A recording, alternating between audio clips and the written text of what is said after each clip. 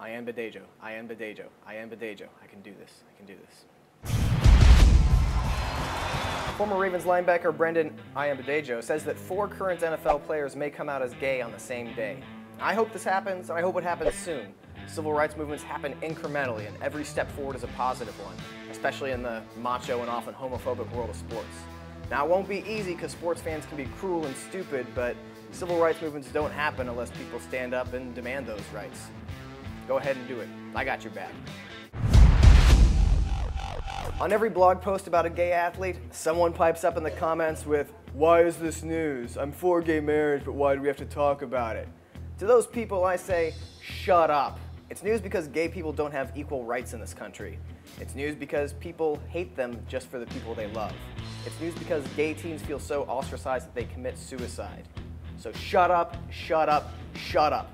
Let the people who give a shit do the talking. Zero.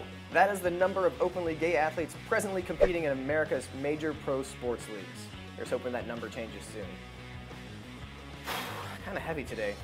You know what kind of marriage I'm in favor of? Gay!